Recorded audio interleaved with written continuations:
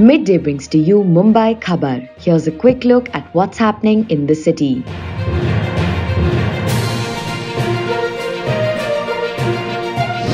Restoration of Fitzgerald Fountain in Marine Lines complete. With the final piece of the lamp placed on top, the BMC has finally finished restoring the Fitzgerald Fountain to its former glory at its original location opposite Metro Cinema at Marine Lines. The inauguration date is yet to be finalized.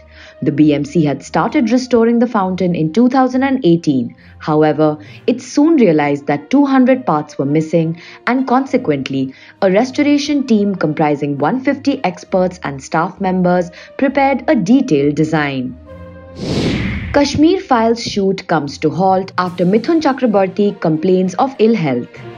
The shoot of the Kashmir Files, which has been underway in Mussoorie since November, came to an abrupt halt on 20th December after Mithun Chakraborty complained of ill health.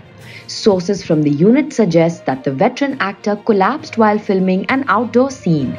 Worried for his leading man's health, director Vivek Agnihotri wanted to immediately call it a day, but Mithun insisted on wrapping up the sequence.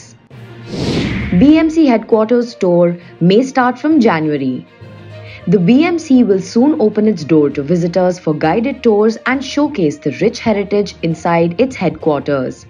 After Tourism Minister Aditya Thackeray's Maharashtra Tourism Development Corporation signed a memorandum of understanding with the BMC a few months ago, the minister himself took a heritage walk of the building recently.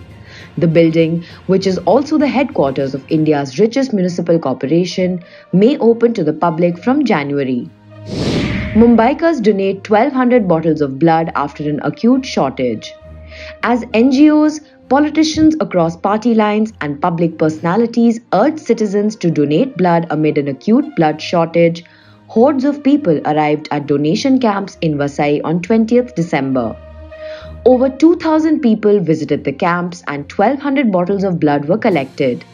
20 donation camps were organized at strategic locations on Sunday.